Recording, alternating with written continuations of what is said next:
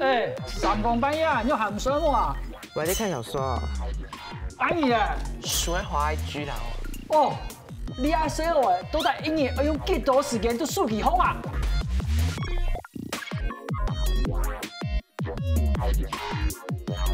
为什么自认自己使用手机是比实际短？你会不自觉的就可能就是把那个时间就是可能会缩短，就是现实生活的时间缩短。假如有一个讯息一进来，我就会看，一看就忘了我要做正事，花了很多时间在乱滑。